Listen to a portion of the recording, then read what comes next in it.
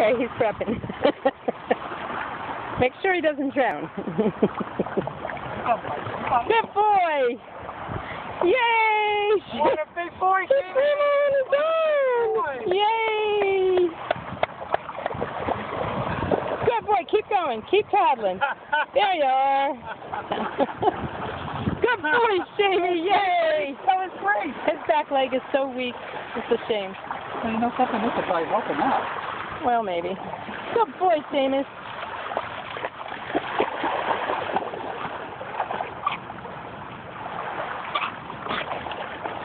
Shane, that was good.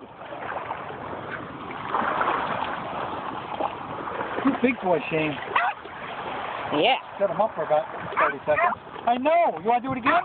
Well, let's do it again. Let's do it again. You did really good. Good. He's ready. He's getting ready. That's how I do it. That's how I do it. There it's you go. Stroke. It's in the stroke. Are you getting that, Ma? That's how you do it, okay? Crush, are you getting this? This is That's how the it's technique, done. This is how it's done. you did. Don't bring him too far out, Jim. I'm holding that. Yay! Nice. You're a swimmer. You're a swimmer. You did really good. You're. You're moving, boy. So that little back leg. Aw. Crushy damage. Good boy, Shamey.